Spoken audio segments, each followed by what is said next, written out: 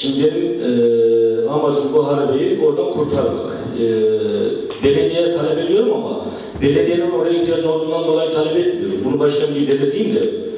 E, sıkıntı tam ana merkezde, caddede atıl durumda bir bina var, devlet binası. Bu bina sonuçta hepimizin malı. E, her konuşmamızda da tüy bitmemiş yetin hakkı var diyoruz. Ama maalesef bugünkü konumu köyüte Demirköy'ün il gelmesi üyesi arkadaşımı da gösterdim daha geçen akşam Cuma akşamı. Bunu buradan kurtarmak istiyorum. Ben de bununla alakalı bir çalışma yaptım. Bununla alakalı bir çalışma yaptım. Evet herhalde sesim gelmiyor.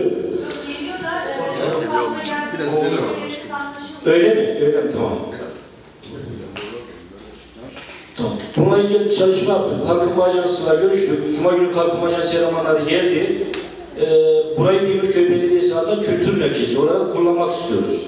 Tamir yapıp kullanmak istiyoruz ama bunun için Demirköy Belediyesi'ne tahsis gerekiyor.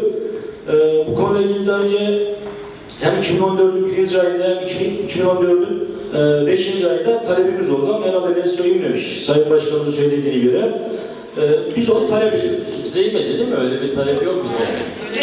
Eski yazılarımızda var başkan taleblerinde bilmemişse. Biz bunu talep ediyoruz. Tabii bunu talep ederken az önce bahsettiğim gibi belediyenin ihtiyacı olduğundan değil, oradaki o binayı o sıkıntıdan kurtarmak için talep ediyoruz. Ee, tekrar hepinize teşekkür ediyorum söz için. Hayırlı olsun diyorum. Benim şahsi fikrim, bugün olduğu gibi bugün gelen Demirköy Belediyesi'ne verilmesinden yana. AK Parti Cumhurbaşkanı arkadaşım diyor ki, meclis karar aldı, eee satılsın. Ya tövbe aşağı, ayet yazısıyla yaz, bunu bir karar alır, nasıl geçeriz? Yani bu meclisin çıkması geçilmeyen olay mı? Şimdi hazır bir ajans bulunmuş. Bu 5-600 milyar lira paraya mal olan bir olay. Biz burada senelerce bu parayı harcadık. Bunu yapacaklar varsa 10 sene yaparlar, 10 sene sonra giderse gider gitmezse mal bizim olur ve toplanmış bir şekilde olur. Benim şahsi fikrim, ben yani arkadaşlarımla görüşmedim ama Milliyetçi Hareket Partisi adına biz buraya bir e, önerge veririz.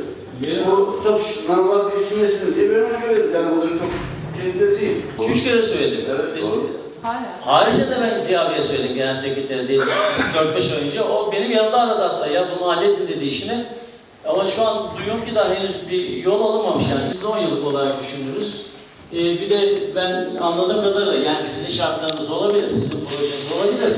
Ama bizim de ayrıca istediklerimiz olabilir. Evet. Farz etti siz ilk bir iki katı yaptınız, altı hiç bize lazım değil dediniz değil mi? Ben öyle anlıyorum yani. Ondan bahsediyorum. başkanım. E biz diyeceğiz ki olmaz kardeşim şu alttaki suyu da temizle işte Okey. boya badana- en azından boya badana yap falan filan. Bir bütün halde biz binanın korunmasını isteyebiliriz. Ondan bahsediyorum başkanım. Sayın Valimize bunu imzalar. Gerek yok ya böyle. İşte AKP Grup Başkanı, CHP Grup Başkanı Bey bunu anlamaz. Afet abi, an dışarı çıkmadı. Ya daha önceden, daha önceden biz Pırahisar Belediyesi'ne uygulama bahçesini verdiğimiz zaman sen biliyorsun ne çektiğimiz sıkıntıları. Aynı olan. Yani 25 yılına verebiliyoruz. Yasalar açtık. Ama bilemiyorum biz daha işte satılmasın, satılsın dedi. Ama benim bildiğim bir şey var. Demirköy'ün hakkı Demirköy'ün.